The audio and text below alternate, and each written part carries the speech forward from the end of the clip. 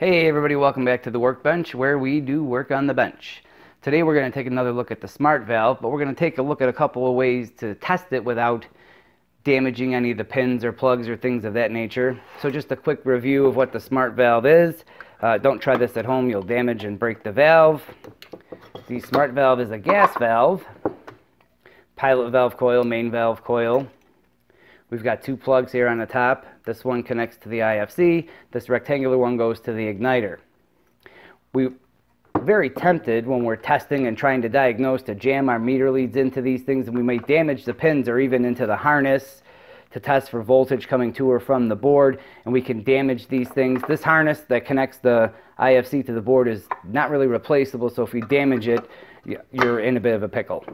All right, the first harness I'm going to show you here has four wires and it goes in series with the board and the, the valve. There's four wires and they're clearly labeled. This is for the orange wire, the EFT output. This is for the blue wire coming from the pressure switch. There's one for the 24 volt hot and one for the 24 volt common. And if we look closely, each one of these wires has a portion of it that's been peeled away, stripped away, so that we can do voltage testing. All right, let's take a look. We plug it in here, and the mating harness from the board would plug into here. And these areas are in different parts of the wire so they won't touch each other and short each other out. Take the meter leads, and we can test by placing the meter leads on the strip portions there and test for voltage without having to stick it into the pins or harnesses and damage anything. So we're testing power going to and from the board and the valve to try and diagnose an issue. So this is one harness and that's the model number for it right there.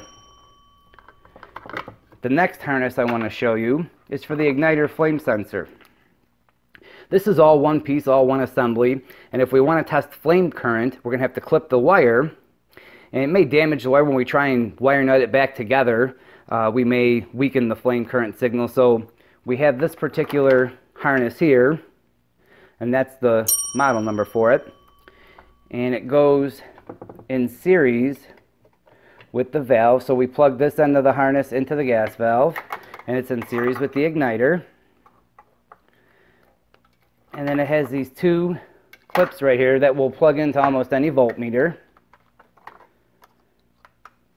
And we set the meter to microamps. And upon ignition, when we get a pilot flame here, we'll register the microamps. So these are two different harnesses that we can use for testing the smart valve without having to jam our meter leads into any of these pins or any of the harnesses and damage anything. Just making you aware what's out there to help make your job a little bit easier. This has been the Workbench series and I thank you for joining me and I will see you on the next one.